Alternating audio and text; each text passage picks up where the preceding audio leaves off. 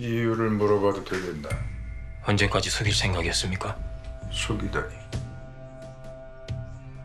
뭘 말인가? 어르신. 당신이 그 어르신이란 사람을 위해서 일한다는 거 제가 모를 줄 알았습니까?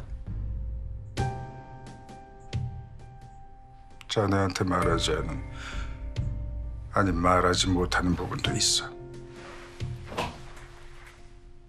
하지만 그건 더 큰 정의를 위한 불가피한 선택이었을 거야. 때가 되면 자네도 알게 될 거야.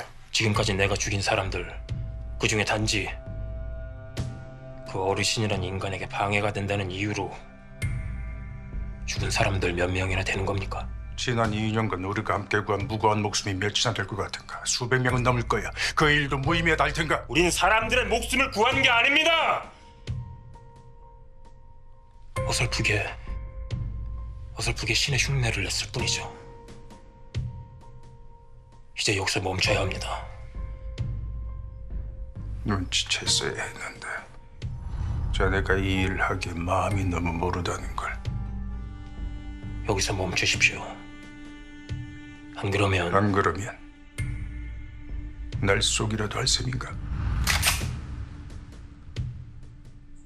필요하다면 그럴 겁니다.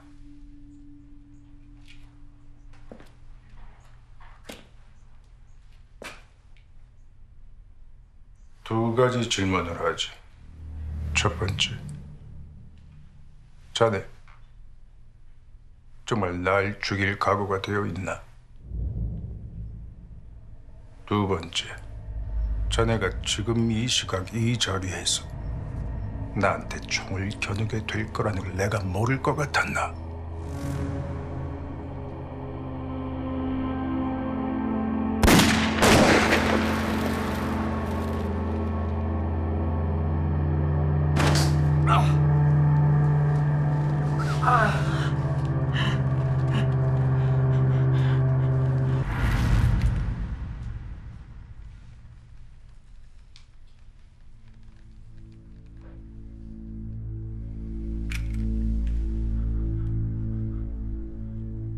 두 번 다시 돌아오지 마라.